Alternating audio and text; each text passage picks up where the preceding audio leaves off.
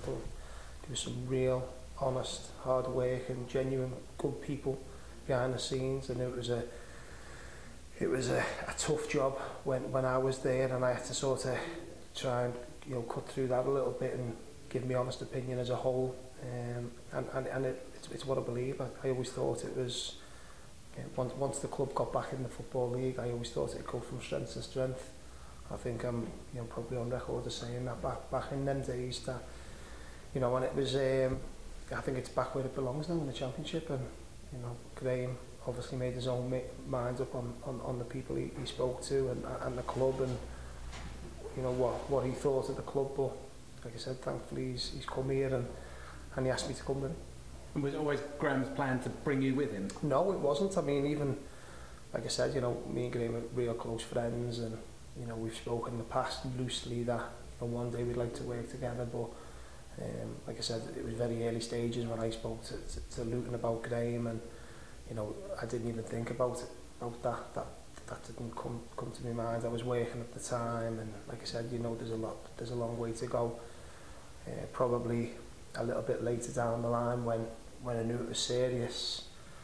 Um, again, I probably, without asking the question or thinking too much, probably thought, you know, he, he's going to go in a different direction. And um, But, you know, I was pleased when, like I said, not just Graham, but the club asked me to come back and, you know, uh, they thought my, my experience from last time I was here would, would be would be good to, to help Graham as, as well as the experiences I've got in, in other, you know, other jobs I've had and the years experience of being involved, involved in football could, you know, hopefully help Graham and this club achieve what they want.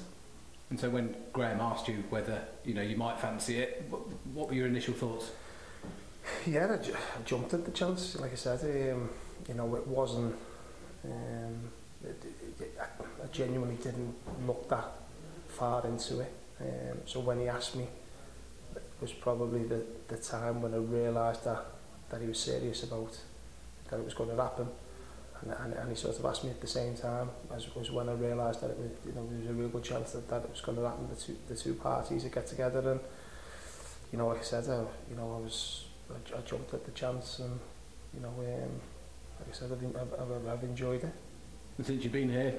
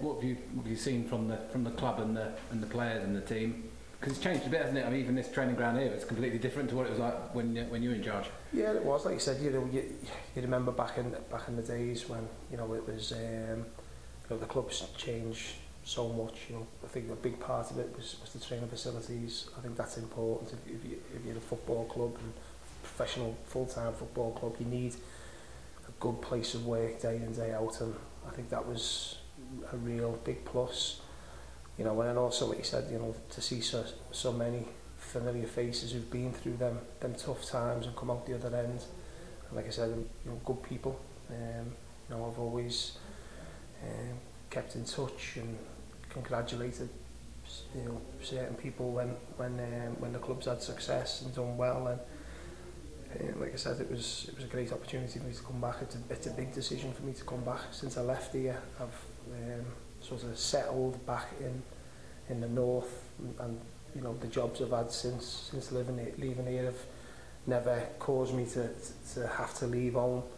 So it was a, a big decision. My kids are young; they're at school, and um, you know once I made the decision to come here, you know it was a, a decision that I wanted me, my whole family to make with me and.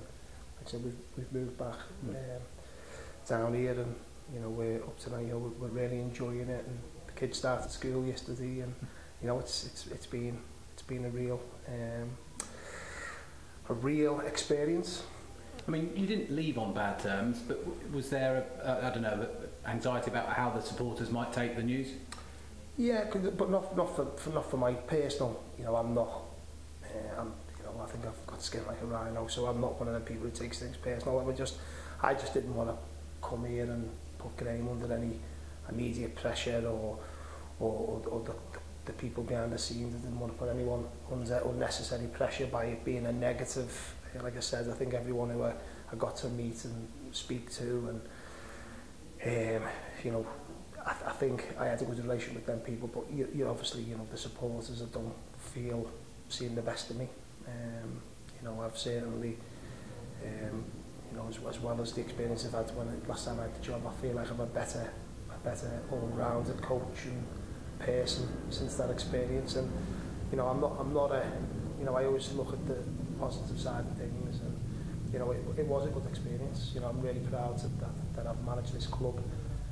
Um, you know, it's it's something that you know I've always cherished, and I, you know, like I said you know, you, you can't. You look at some of the best managers, they don't win all the fans over, but you know, I think it's something that I'm, I'm coming down this time a better person, better equipped coach, and, and I'd like to be part of the next, um, you know, big success. And like you said, you know, hopefully convince them fans who, who did doubt that, you know, I am the right person.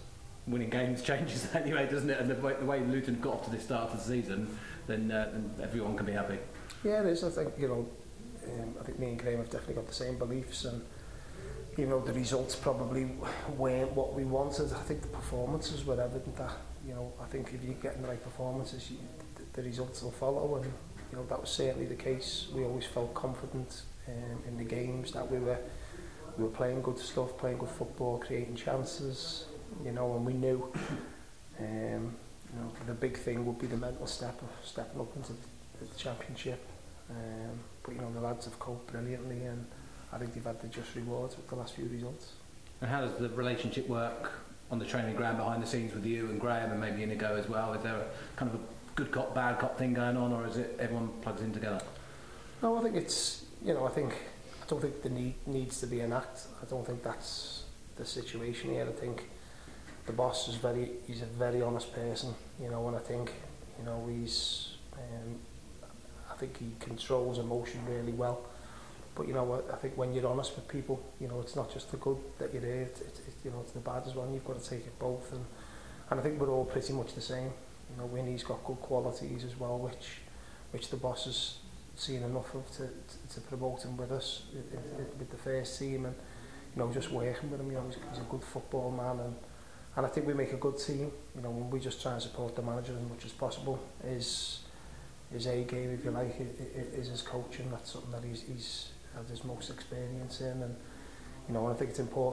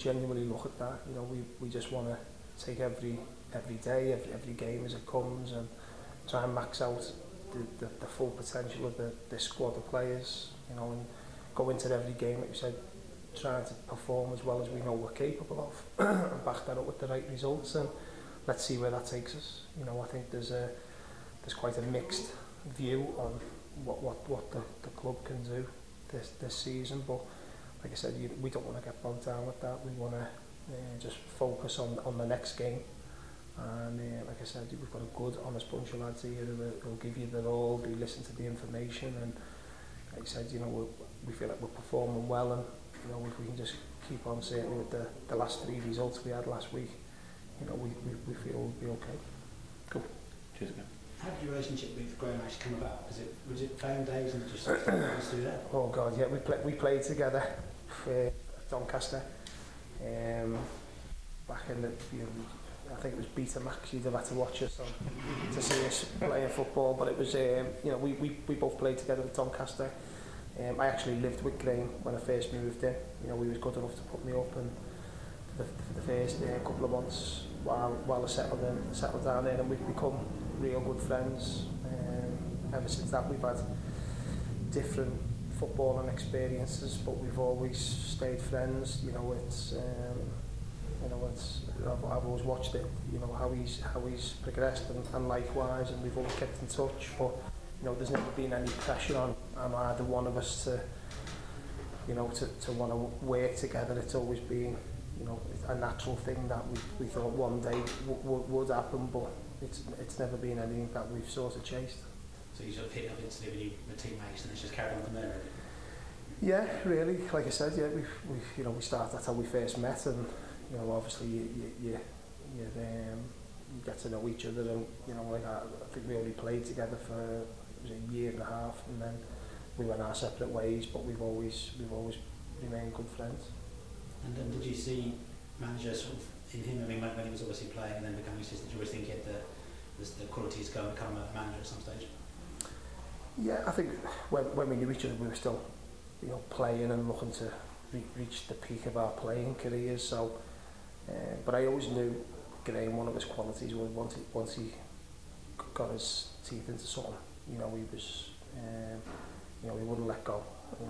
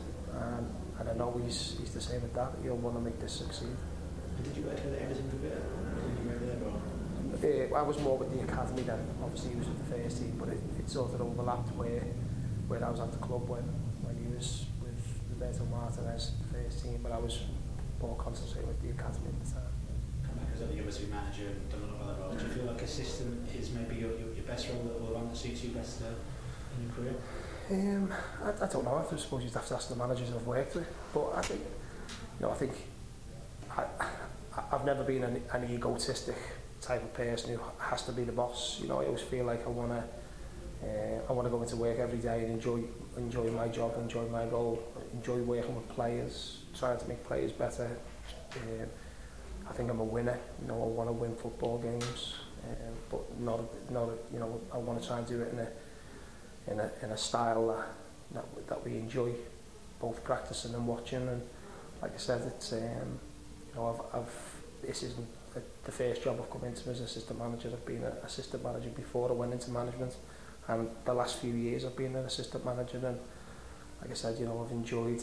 Yeah, I think anyone who knows me will tell you that I'm not one of them people who do something that they don't enjoy. It.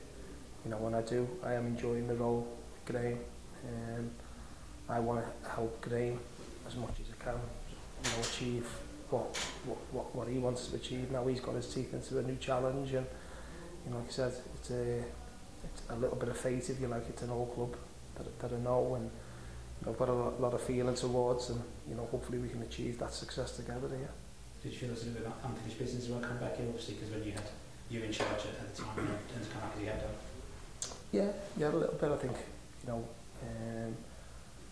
I think you know, I have my opinion on, on my on my spell here as a manager, and you know, I, I always knew it was going to be tough, but you know, um, you know, I think that the little bit of work I, I felt like I did do, um, I thought was ingrained in, into the side, and you know, I've always watched them, you know, sort of being proud and delighted for the club that, that it's got back when it's wanted and, and to be some part of that, like I said, you know, I think anyone who,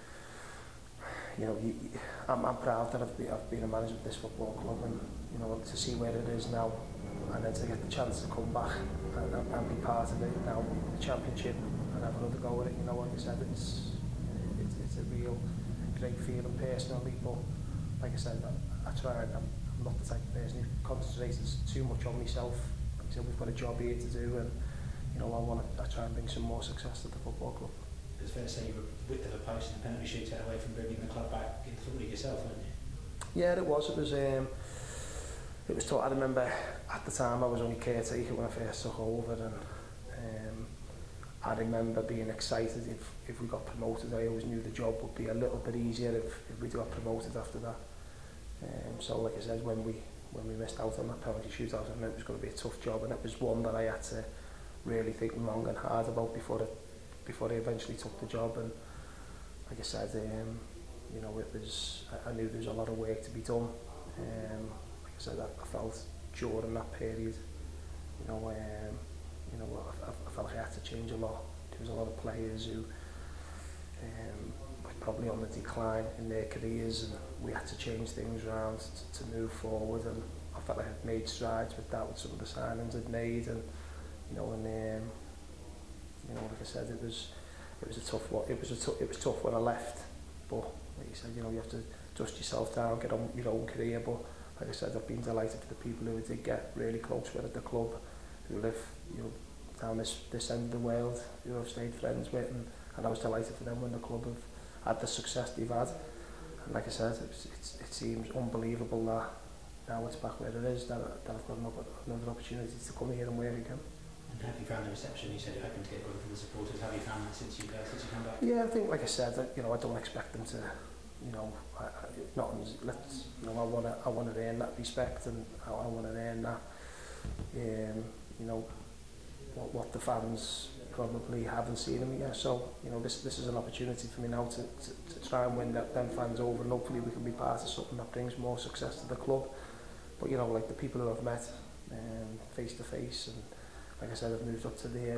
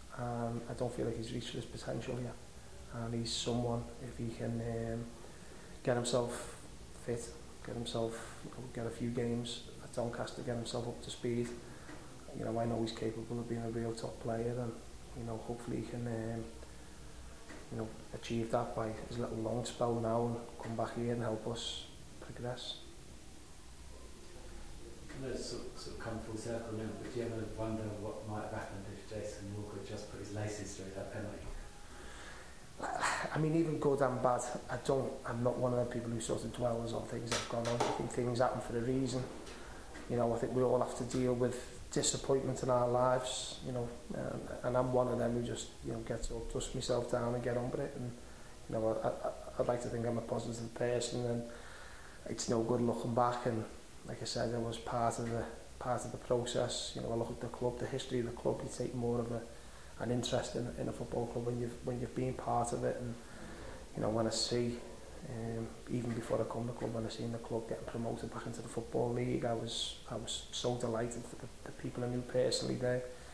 And I watched them getting promoted into Division One. Um, I was, you know, delighted. I think I texted at the time all, all the and Gary Sweet and, and, and all the people who were part of the club because I was delighted because I thought that was the very least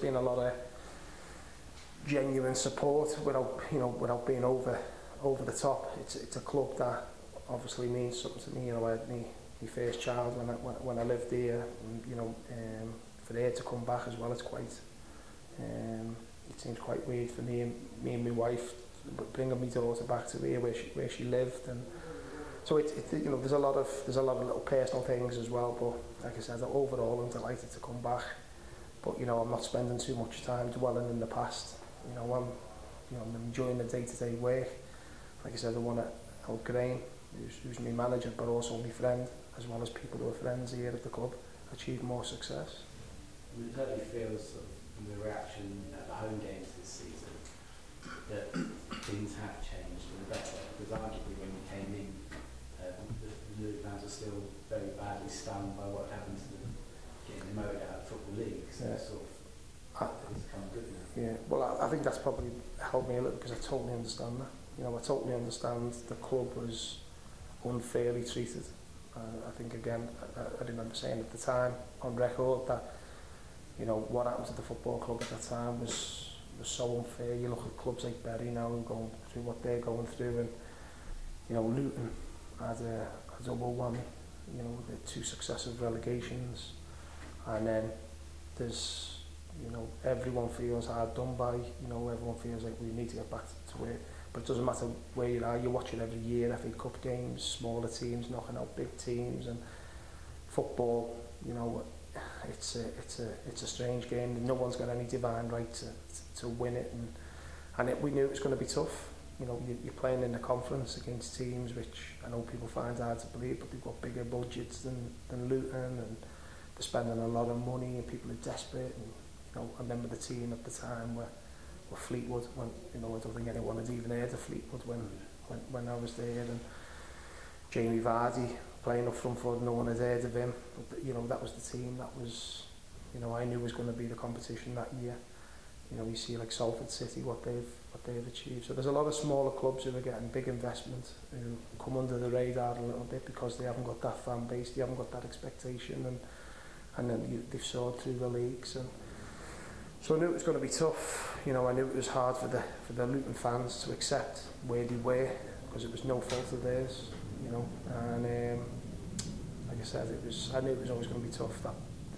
I, I knew when I made the decision to take the job, that that that was part of it. And you know, that's that's the industry we're in. Like I said, I'm not I'm not the type of person who holds grudges. I always try and look positive, dust myself down, and get on with the next job. But you know what? Like I said, I felt proud of the work that I would had done.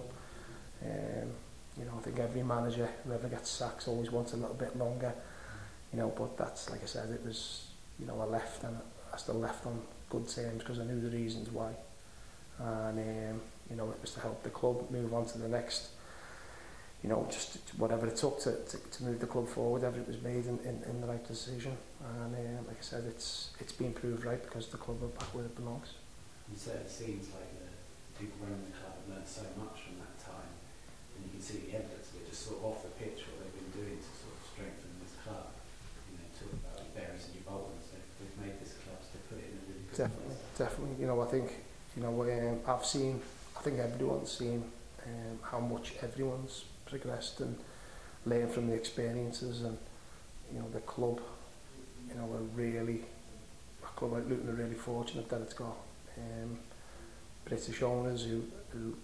really genuinely support the football club. We've got no, uh, don't want any financial gain from it. They just want the club to do well, and I think it's a rare, it's a rare thing to have in English football, and and I think now, you know, all them bad experiences, if you like, should be turned into good experiences because it makes this this you know this occasion now more, all the more special that you know they've had to really work hard the whole club supporters, the people behind the scenes, the players.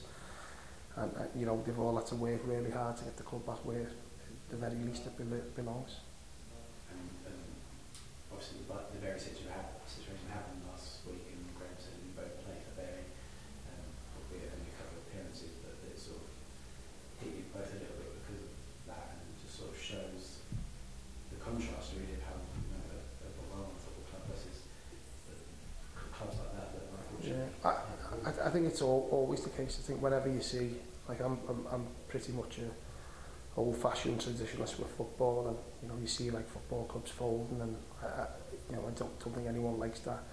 You know even now you look at the Premier League, some of the, the clubs who, you know, sometimes have a little, little bit of a game just, you know, with, with friends and stuff, and you sort of put all the clubs back in the leagues where they belong, and You know, you look at like little clubs 10, 20 years ago, they're now playing in the Premier League. You see big clubs who were in the top leagues playing you know, the conference. I remember at the time and Luton were down there, and you know, and it's the, the, the golf's massive now, and you know, and I think a lot of people are, are taking over clubs for the wrong reasons, and you know, fans don't know. You know, people uh, are sending out messages via social media and stuff, and you know, it's, it's, it's a bit of a guess whether you, whether you back that person or not because no one knows the, the behind the behind the scenes story of what's what's really going on but when you see the demise of clubs you know I think there should be more of a uh, a punishment or penalty towards the person who's got the club in that state as opposed to making thousands upon thousands of people suffer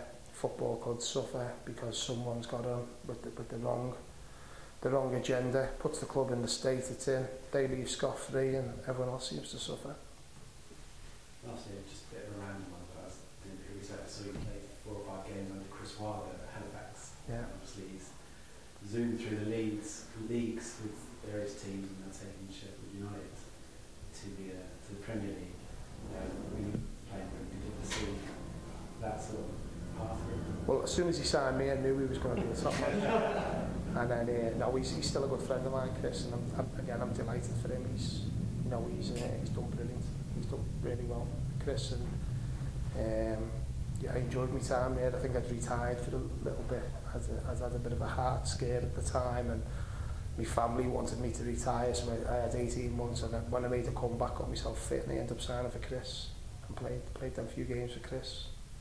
So definitely helped his managerial career, 100%.